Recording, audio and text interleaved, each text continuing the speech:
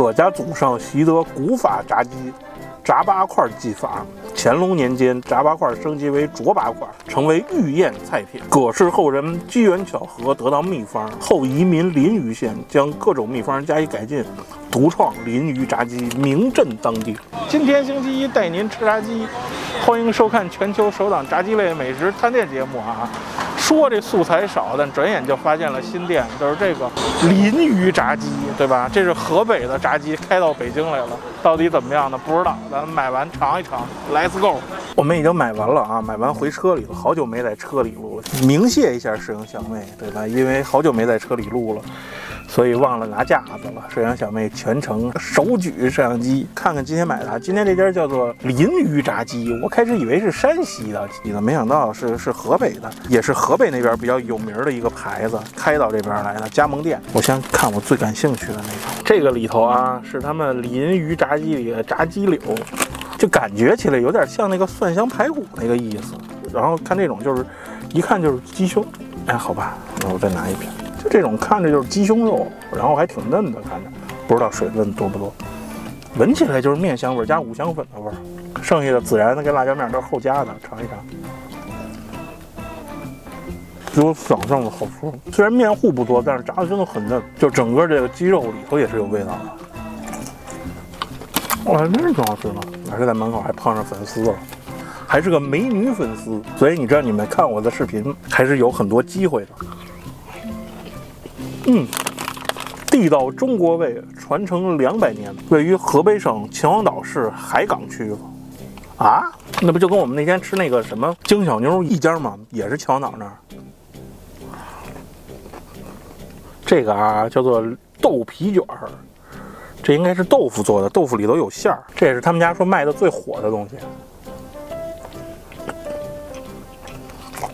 哇，这好像就是香肠里头带着馅儿。哇塞！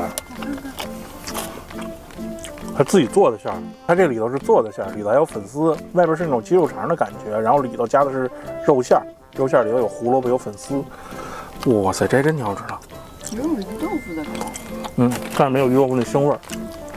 哇，这太人啊！清乾隆二年（一七三七年）建榆林县，至今已有近三百年的历史。葛家祖上习得古法炸鸡。炸八块技法，乾隆年间，炸八块升级为灼八块，成为御宴菜品。葛氏后人机缘巧合得到秘方，后移民临榆县，将各种秘方加以改进，独创临榆炸鸡，名震当地。头两样啊都很好吃，只不过相对来说有点贵，六块钱一个。反正我就小憨炸鸡那好像五块钱一个吧，尝一尝。哇，就主要还是他们家这个腌料确实厉害。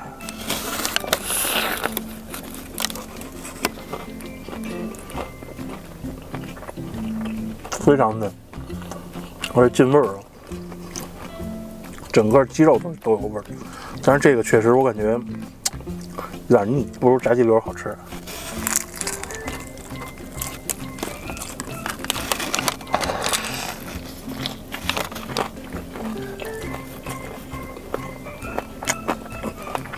这个跟我们录那个京小妞应该差不多，就热的时候超级好吃，然后凉了就差点意思，有点腻。炸鸡架。其实我觉得他们家这个跟金小妞那个还不一样，这家基本上所有的炸鸡都是用的一个料，可别撒车。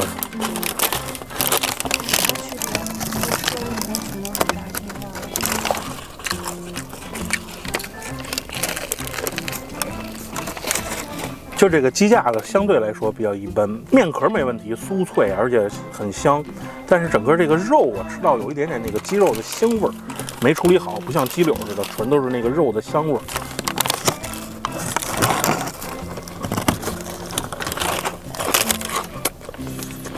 但是这个酥脆的感觉还是不错的。总评一下啊，今天这叫林榆炸鸡，也是秦皇岛那边过来的品牌，在北京已经有三家店了，这是朝阳大悦城店嘛，然后。鸡肉确实有它厉害的地方，它腌制的都非常入味儿。它不像那种北京的美式炸鸡，鸡腿里头的味道没那么重，但是它这个真的腌透了。所以整个鸡肉里头味道都很好，但是也有它的问题，它是裹着面糊炸的嘛，所以凉了以后会比较腻。如果来吃的话，尽量刚炸好的时候来买，或者看它炸好什么买什么。然后最好吃的啊，豆腐卷、炸鸡柳，这都超级厉害。然后鸡腿也不错，鸡架子我觉得也可以，但是吃到真的是吃到了稍微有那么一点点鸡肉的腥味，我觉得也可能就是个别情况。所以这家真的还不错，在这附近啊，绝对值得尝一尝。而且这附近真的好吃的特多，就首先不说大悦城，隔壁就是张记拉面，还有 财记啊。铁锅炖，买了炸鸡，再来碗拉面，我觉得应该也不错。好，感谢您收看这一期全球首档炸鸡类美食探店节目《周一吃鸡》，对吧？我是许大阳，咱们下周一见，拜拜。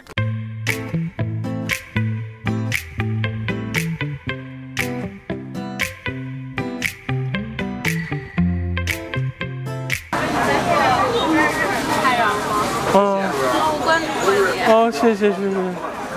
看我的真的有美女粉丝，所以你们看我的。要多多加油啊！你所以你们关注我的这些男粉丝还是要多多加油的。我是拜拜。我给你举，然后你在谈论美女粉丝。嗯，你怎么这么？我是让我的粉丝，让我的男粉丝加个油啊！